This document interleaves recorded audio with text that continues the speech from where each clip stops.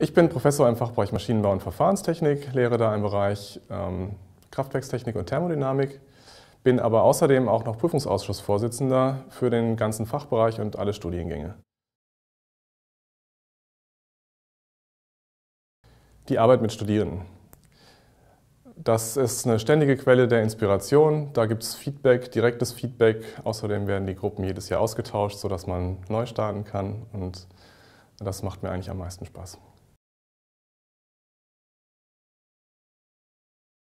Da möchte ich gerne ein nicht fachliches Projekt nennen, und zwar die Fachstudienberatung.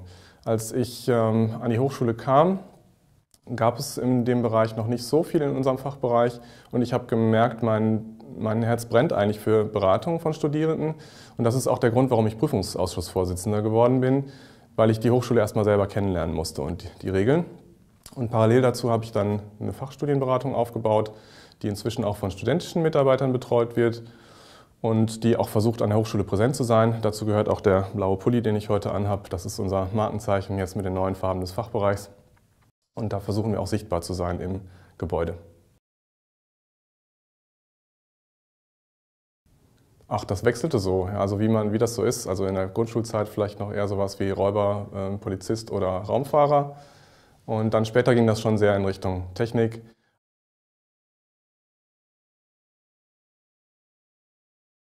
Mit meinen Kindern in den Garten.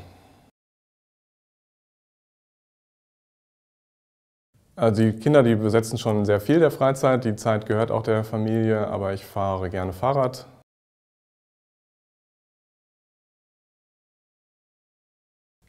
Also was ich wirklich gerne mal machen würde im Selbstversuch wäre, ähm, besoffen Auto zu fahren und zu gucken, ähm, wie stark, also das besser nur im Simulator, aber dann mal zu gucken, was das für Konsequenzen hat.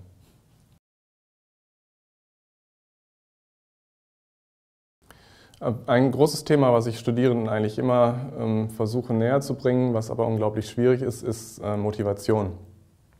Und die Message, motivieren Sie sich, ist natürlich äh, fast paradox, aber das ist, das ist eigentlich meine, meine Botschaft. Wer nicht motiviert ist für das Studium und das aus sich heraus irgendwie auch begründen kann, der hat es schwer.